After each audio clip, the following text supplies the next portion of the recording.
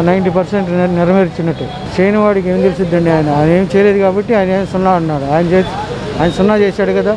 అందుకని ఈయన సున్నా అన్నాడు. చేసేవాడికి తెలుసుద్ది అది సమంజసంగానే ఉంది. పర్వాలేదు. వాళ్ళు దొంగల్ని సమర్థిస్తున్నారండి. అది ఎంతవరకు కరెక్ట్ అది?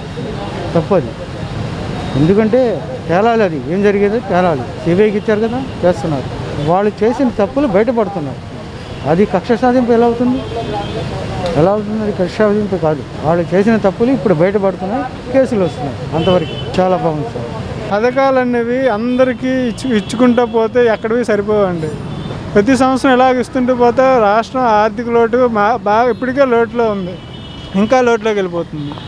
సో ఏంటంటే ఉద్యోగ అవకాశాలు కల్పిస్తే పదివేలు పదిహేను వేలు ఇప్పుడు సచివాలయాలు పెట్టారు. బాగానే ఉంది. చాలా మంచి ఉద్దేశం సచివాలయాలు. కానీ అందులో పూర్తిగా ఏ పనులు పూర్తిగా అవ్వట్లేదు. వాలంటీర్లు పెట్టారు. వాలంటీర్లు అనవసరం అండి. ఈ దగ్గరలో ఉన్న కిలోమీటర్లో ఉండే సదుపాయాలను వెళ్ళి సచివాలయంకి వెళ్ళి వాళ్ళే చేసుకుంటారు కదా. పెద్దవాళ్ళు చేయలే చేసుకోలేకపోయినా ఇంట్లో పిల్లలు ఎవరో ఒకరు ఉంటారు కదా. వాళ్ళైనా వెళ్ళి చేసుకోగలరు కదా. దానికోసం ఓన్లీ ఆ పథకాలన్నీ ఇంటికి అందించాలని రూల్ ఏం లేదు కదా. ఎవరికైతే అవసరమో వాళ్ళు వెళ్ళి చేసుకుంటారు. సచివాలయంలో పెడతారు. గ్రామ గ్రామ మీటింగ్లు ఏమైనా పెట్టుకుని ఏం కావాలో ఎవరికి ఏం కావాలో అప్పుడు సర్పంచ్ ఉంటాడు. మొత్తం పన్నెండు మంది ఎంప్లాయీస్ ఉన్నారు. వాళ్ళందరూ ఏం చేస్తారు? నాలుగు వేలు ఐదు వేల మంది కాకుండా రెండు వేల మందికే ఒక సచివాలయం పెట్టారు అనుకోండి అప్పుడు ఆ ప్రెజర్ అనేది వాళ్ళకు సచివాలయం ఉద్యోగులకు కూడా ప్రెజర్ అనేది తగ్గుతుంది. ఇప్పుడు ఐదు వేల మందికి నాలుగు వేల మందికి ఒక సచివాలయం అంటున్నారు. ఒకేసారి ఎక్కువ మంది అయిపోతున్నారు. ఆ సచివాలయం మీద ప్రెజర్ ఎక్కువ పడుతుంది. దానివల్ల ఏంటంటే లబ్ధిదారులు పొందుతున్నారు కానీ కొంతమంది అవకాశం ఏటి అప్డేట్లు ఇవన్నీ ఉంటాయి కదా ఆధార్ కార్డు కానీ రేషన్ కార్డు కానీ. ఇప్పుడు నేను సంవత్సరం అవుతుంది రేషన్ కార్డు కోసం అప్లై చేశాను ఇప్పటికి వచ్చి నాకు రేషన్ కార్డు రాలే. మ్యారేజ్ అయ్యి నాలుగు సంవత్సరాలు అయింది. అందులో అడిగితే ఏమంటున్నారు? రేషన్ కార్డులో పేరు డిలీట్ అవ్వాలంటున్నారు మా మిస్సెస్ది. డిలీట్ కోసం పెడితే డిలీట్ ఆప్షన్ లేదంటున్నారు. కొత్తగా డిలీట్ వచ్చిందని ఆప్షన్ అక్కడికి వెళ్ళి అడిగితే వాలంటీర్ ఇంకా అవ్వట్లేదంటే ఎంఆర్ ఆఫీస్కి వెళ్ళాలంటున్నారు.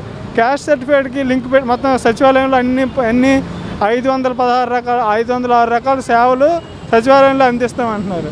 అందులో ఎన్ని సేవలు ఉంటాయి మహా అయితే నలభై ముప్పై సేవలు కూడా సచివాలయంలో ఇవ్వట్లేదు. మరి దేనికోసం సచివాలయం పెట్టినట్టు? మొత్తం ఐదు వందల పదహారు సేవల్లో కనీసం రేషన్ కార్డు ఇప్పుడు క్యాస్ట్ సర్టిఫికేట్ అప్లై చేసుకుంటాం. మళ్ళీ అప్లై చేసుకున్న తర్వాత మళ్ళీ ఎంఆర్ ఆఫీస్కి వెళ్తే మరి సచివాలయం పెట్టి దేనికి? సచివాలయం ఎంఆర్ సచివాలయం పెట్టింది దేనికి? అన్ని పథకాలన్నీ సర్టిఫికేట్లు కానీ ఏదైనా ఏ టు జెడ్ అన్ని సచివాలయం దగ్గర నుంచి తీసుకోవడానికి. అప్పుడు వాళ్ళు ఏంటంటున్నారు అప్లై చేయడం మళ్ళీ ఇక్కడే. మళ్ళీ ఆ అప్లికేషన్ వాళ్ళు ఓకే ఎంటర్ చేసిన తర్వాత మీ సేవ లేదనమాట. వీళ్ళు అప్లై చేసిన తర్వాత మళ్ళీ అది పట్టుకొని ఆ ఫామ్ అప్లికేషన్లో డేటా అంతా పట్టుకొని మళ్ళీ ఎంఆర్ఓ దగ్గరికి వెళ్ళాలి. మరి అలాంటప్పుడు మరి మీ సేవలోనే చేసుకుంటాం కదా. వాళ్ళే డైరెక్ట్ చేసి ఓపెన్ చేయించి చేయించేసి ఇస్తున్నారు కదా. మరి ఇంకా సచివాలయం పెట్టి ఉపయోగం ఏంటి?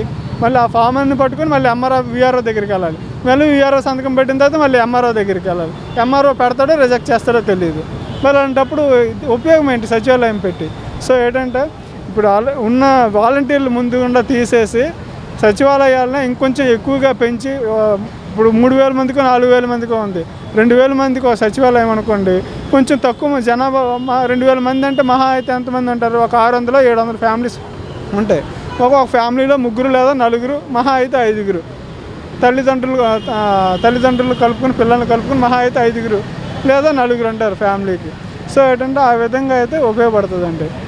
పథకాలు ఇంతమందికి ఇవ్వడం వల్ల వేస్టే తప్పితే అమౌంట్ వేస్టే తప్పితే ఉపయోగం అయితే ఏం లేదు. సామర్పోతులుగా తయారవడం తప్పితే ఒక నెలకు ఒక ఎక్కువ కాకుండా ఒక పదివేలు పదిహేను వేలు ప్రతి మండలంలో ఏదో క్లస్టర్ లాంటిది ఏదో కంపెనీ లాంటిది ఏర్పాటు చేసి ప్రతి మండలంలో కూడా ఈ విధంగా ఏర్పాటు చేస్తే చాలా మంచిదని నా అభిప్రాయం. ఏ ప్రభుత్వం వచ్చినా సరే ఆ ప్రభుత్వం సంబంధించి వాళ్ళ ఇన్ఫ్లుయెన్స్ ఉపయోగించుకొని ఏదో ఒక పనులు వాళ్ళు వాళ్ళ పనులు చేసుకుంటారండి. దాని గురించి నాకు అంత ఐడియా లేదు. వాళ్ళు స్కామ్ చేశారా లేదా ఈఎస్ఐ కుంభకోణం అన్నారు.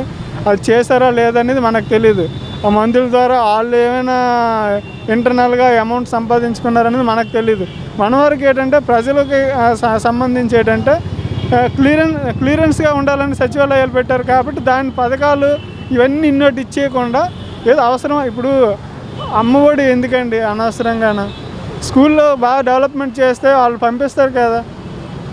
ఫీజులు ఫీజులు వాళ్ళు కట్టాల్సిన అవసరం లేదు కదా. చక్కగా ఇంగ్లీష్ మీడియం చెప్తారంట. ఇక్కడే పంపిస్తారు కదా. ప్రైవేట్ స్కూల్ గవర్నమెంట్ స్కూల్లో ఇంగ్లీష్ మీడియం చెప్తామంటే ఏంటంటే తల్లిదండ్రులకి ఐదేసి వేలు ఆరేసి వేలు నెలకు కట్టుకొని ప్రైవేట్ స్కూల్కి పంపించాల్సిన అవసరం ఏంటి? చక్కగా గవర్నమెంట్ స్కూల్లో బాగా చెప్తారంటే అక్కడికే పంపిస్తారు. అమ్మఒడి వేస్ట్. అది నేను కూడా ఒక వాలంటీర్గా స్టార్టింగ్ జాయిన్ అయ్యి నాకు నచ్చక మానేశాను నేను వాలంటీర్నే. మా తమ్ముడు వాలంటీర్. నచ్చక మానేశాను అయితే నా అభిప్రాయం మంచిదే. కాదన్నట్లే కాకపోతే ఏంటంటే ఇప్పుడు ఫిఫ్త్ క్లాస్ వరకు తెలుగు అనేది కంపల్సరీగా ఉండాలి. ఇప్పుడు ఇప్పుడు ఇంగ్లీష్ ఇంగ్లీష్ మీడియం పూర్తిగా ఇంగ్లీష్ మీడియం అనేసరికి ఇప్పటికే తెలుగు మీడియం అనేసి ఎవరు రాయడానికి తెలుగు రాయడానికి ఎవరు రావట్లే. అదే ఇంగ్లీష్ మీడియం పూర్తిగా ఇంగ్లీష్ మీడియం చేశారనుకోండి అసలు ఇంగ్లీష్ కూడా రాయలేరు యువత తెలుగు కూడా తెలుగు అసలు పూర్తిగా మర్చిపోతారు. సో ఏంటంటే ఫిఫ్త్ క్లాస్ వరకు ఇంగ్లీష్ సబ్జెక్టుగా సబ్జెక్ట్గా కొంచెం ఫోర్స్గా చెప్తూ సిక్స్త్ క్లాస్ నుంచి ఇంగ్లీష్ మీడియం చెప్పుకున్నారు అనుకోండి టెన్త్ క్లాస్కి వెళ్ళేసరికి వాళ్ళకి పూర్తిగా ఒక అవగాహన ఐడియా వచ్చేస్తుంది. ఆ తర్వాత ఇంటర్మీడియట్కి వెళ్ళేసరికి ఇంకా ఇంగ్లీష్ సబ్జెక్ట్ కొంతమంది సిక్స్త్ క్లాస్ నుంచి ఇంగ్లీష్ మీడియం చదివిన వాళ్ళు ఎంతమంది లేరు? ఫిఫ్త్ క్లాస్ వరకు ప్రాథమిక విద్య అనేది మాత్రం తెలుగులో చదువుతూ సిక్స్త్ క్లాస్ నుంచి ఇంగ్లీష్ మీడియం పెట్టుకుంటే బాగుంటుందని నా అభిప్రాయం. ఈ వీడియో గనక మీకు నచ్చినట్లయితే లైక్ చేయండి షేర్ చేయండి. మరిన్ని వీడియోస్ కోసం మా ఛానల్ను సబ్స్క్రైబ్ చేయండి.